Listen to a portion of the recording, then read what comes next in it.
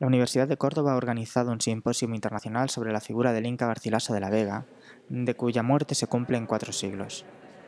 El simposio va a consistir en, poner de manifiesto, de relieve, eh, la figura del Inca Garcilaso pero no solamente vamos a estudiar, diríamos, eh, sus escritos, su biografía, sino que se va a exponer como un referente del mundo actual eh, eh, sobre la interculturalidad.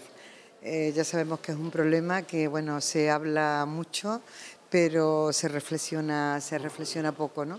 Todavía mm, hay una cierta confusión entre multiculturalidad e interculturalidad, ¿no?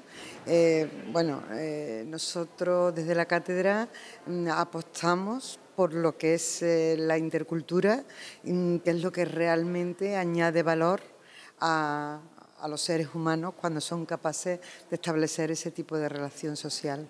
Tras unas jornadas introductorias celebradas este miércoles en Montilla, donde vivió el autor, la inauguración de las jornadas se celebró al día siguiente en la Sala Mudéjar del Rectorado de la Universidad de Córdoba para tratar sobre la figura de este primer paradigma del mestizaje y de la interculturalidad en España.